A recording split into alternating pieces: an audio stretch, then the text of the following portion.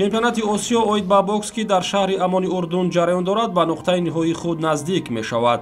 Аз якум то ҳафтуми ноябр муҳорибаҳо дар давраҳои муқаддамотӣ ва чоракниҳоӣ аз рӯи сездаҳ категория вазнӣ миёни мардҳо ва дувоздаҳ категория миёни бонувон баргузор шуданд. Бо натиҷагирӣ аз давраҳои муқаддамотӣ ду варзишгари мо баҳодур усмонов дар вазни 63 кг ва муҳаммад аброриддинов дар вазни ҷамъи 92 кг ба нимфинал роҳ ёфтанд дар даври нимниҳоӣ нахуст муҳаммад аброриддинов дар вазни ҷамъи 92 килограмм ба ринг баромад. Ҳарифи ӯ дар ин марҳила варзишгари қазоқистон қамчибек канкабоев буд.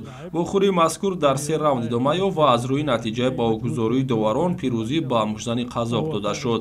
Ҳамакнун варзишгари мо аз идомаи чемпионати осиё маҳрум шуд ва сазовори нишони биринҷӣ гардид. Хотиррасон мекунем ки муҳаммад аброриддинов сабқатро аз даври чоракниҳоӣ оғоз карда бар намояндаи сурия муҳаммад лаес пирӯз шуда буд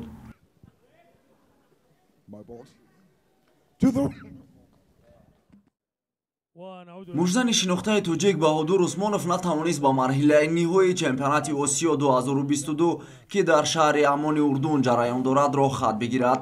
Дар даври нимниҳоии мусобиқа баҳодур дар вазни 63 кило аз ҳамтои худ аз ҳиндустон шиватхапа шикаст хӯрд.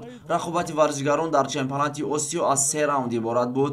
Дар ҷараёни рақобат варзишгари ҳиндустонӣ аз баҳодур бартарӣ дошт ва бо баҳогузории доварон бо ҳисоби 4 бар 1 пирӯзӣ ба даст овард бо ҳамин тартиб шиватхапа ба марҳилаи ниҳоии мусобиқа роҳ ёфт.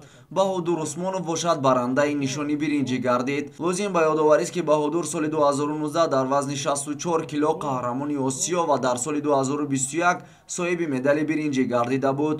Бо ҳамин тартиб мунтахаби бокси тоҷикистон чемпионати осиё 2022-ро бо ду нишони биринҷӣ ҷамъбаст намуд.